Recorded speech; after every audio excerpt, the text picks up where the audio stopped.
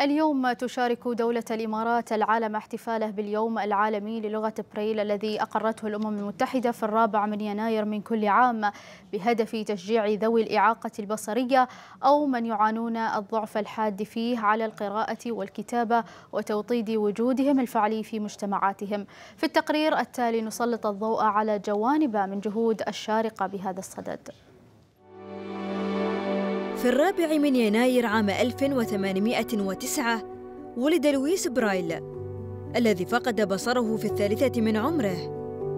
ومع ذكائه الحاد وتعلمه الكثير طور الكتابة بطريقة الحروف أو الرموز البارزة التي تساعد المكفوفين على القراءة وهي ما نسب إليه لاحقاً فأصبحت لغة برايل.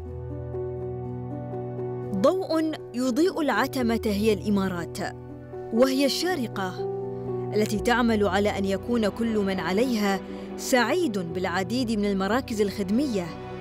فجمعية الإمارات للمعاقين بصرياً بجانب رعايتها لهذه الفئة فإنها اهتمت بتوفير واستخدام أحدث التقنيات والأجهزة المتطورة في طباعة برايل سواء في وسائل القراءة أو الكتابة.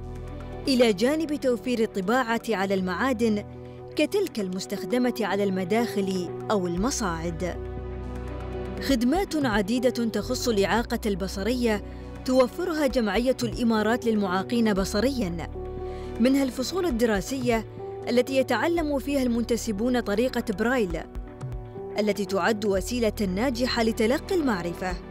وضمان حصول المعاقين بصريا وضعاف البصر على حق التعلم.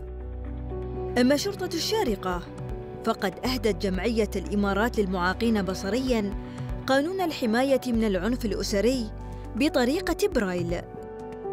وعلى مستوى الدولة أطلقت وزارة الصحة ووقاية المجتمع بالتنسيق والتعاون مع مؤسسة زايد العليا لأصحاب الإعاقة مبادرة مجتمعية جديدة تتمثل بطباعة إرشادات وتعليمات استخدام الأدوية بلغة برايل الخاصة بالمكفوفين وغيرها الكثير من الخدمات التي تعين هذه الفئة.